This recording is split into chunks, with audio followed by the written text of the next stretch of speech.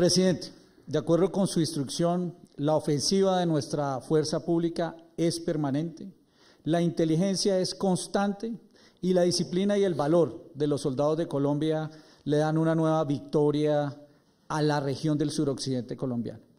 El hecho de que alias Mayimbú hubiera sido abatido libera a los departamentos de Cauca, de Nariño y del Valle del Cauca de uno de los peores criminales y las peores acciones que desarrollaba este individuo, como usted lo ha señalado.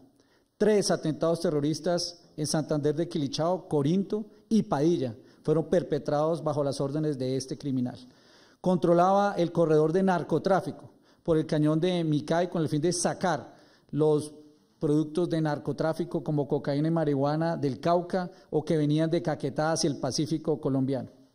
Pero principalmente se ha convertido en el articulador de acciones demenciales y terroristas como el asesinato de una candidata en el municipio de Suárez, Cauca. Con la ofensiva desarrollada por nuestro Ejército Nacional, con la campaña militar desarrollada en esa zona, hoy se libera a los caucanos, a los vallecaucanos y a los nariñenses de una tortura permanente por la extorsión que cometía, por los crímenes que desarrollaba en esa zona y principalmente se corta una línea de mando que tenía con más de dos estructuras y 1.800 hombres en esa zona del país. Un paso más para garantizar la seguridad y la tranquilidad de todos los colombianos que se da con todas nuestras fuerzas y con el único propósito de asegurar que esa política de seguridad y defensa se materialice en tranquilidad para todos los colombianos.